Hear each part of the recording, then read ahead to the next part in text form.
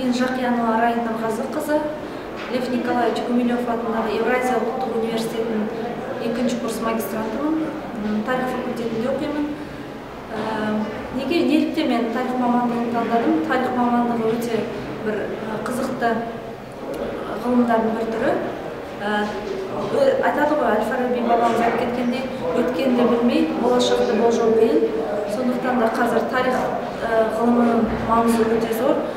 Қазір айтсақ айтып жатсақ көптеген бағдарламалар жүріп жатыр. Тарих толқынында деген бізде болған әртүрлі бағдарламалар. Соның негізінде қазір біз елбасымыз нұрсұлтан әбішұлы назарбаев мәңгілік ел идеясын ұсынып отыр. Ол идея біздің түркі кезеңімен өте байланысты.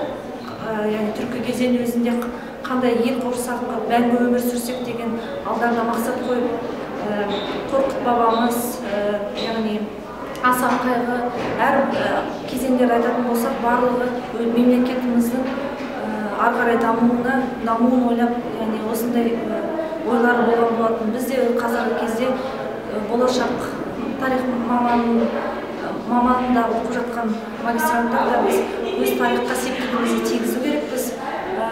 Жалпы біз мен бакалавр кезінде семей мемлекеттік педагогика институтында оқыдым. Ол кезеңде біз екінші курста ә, шыңғыстау экспедициясы археология экспедициясына қатысқанбыз.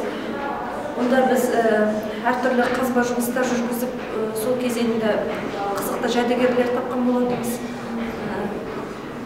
Осы тарих мамандығына болашақ жастарды мен тарих мамандығына түсуіне дәріптеймін түскендерін Ә, болашақта тарих мамандығы әрі қарай шыңдай түседі деп ойлаймын осы біз лев николаевич гумилев атындағы евразиялық университетінде төрт мамандық үш, үш бағыт бойынша мамандар даярлайды біріншісі бакалавриат магистратура және докторантура.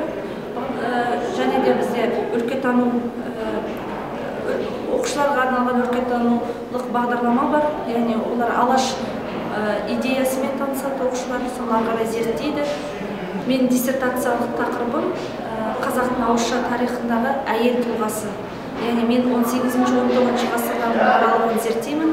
Бұл тақырып өте ә, сондай маңызды тақырыптардың бірі.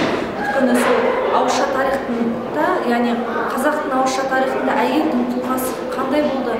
Және де осы менің тақырып диссертациялық тақырып мақсаты қазақ э, 18-19 ғасырдағы қазақ әйелдің рөлін айқындау ауызша тарихтағы Ә, осы тақырып бойынша мен қазір жұмыстар жүргізіліп жатыр Ә, ұлттық кітапханада өзіміздің отырар кітапханасында материалдарды жинақтап жатырмын.